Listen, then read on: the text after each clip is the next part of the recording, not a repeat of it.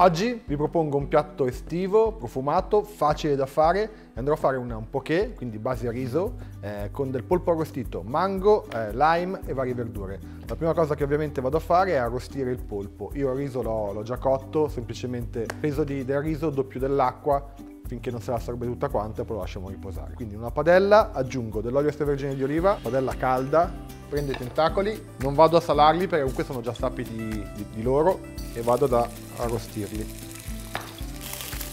Quando inizio a prendere questo bel colore ambrato possiamo tirarli via dalla padella prima di andare a tagliarli li faccio raffreddare un attimo nel frattempo preparo la, il resto dei, degli ingredienti quindi il mango ricavo la parte mi interessa. Vado a tagliare in molto sottile.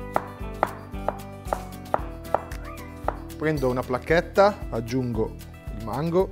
La stessa vado ad aggiungere anche dei ravanelli. Tengo anche le foglie che sono commestibili. Li taglio in quattro. Li vado a condire con buccia e succo di lime.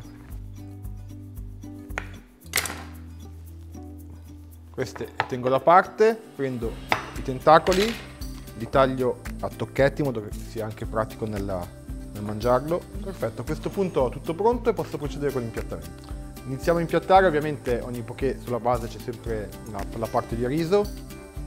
Cerchiamo di lasciare leggermente più alti i bordi, in modo che ci aiuti anche ad appoggiare gli altri ingredienti. A questo punto iniziamo a mettere la, gli altri ingredienti, partiamo dal polpo, andiamo a girare e posizioniamo anche il, il mango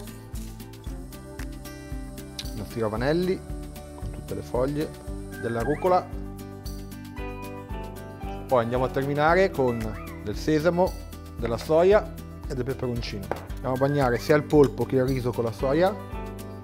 Aggiungiamo il sesamo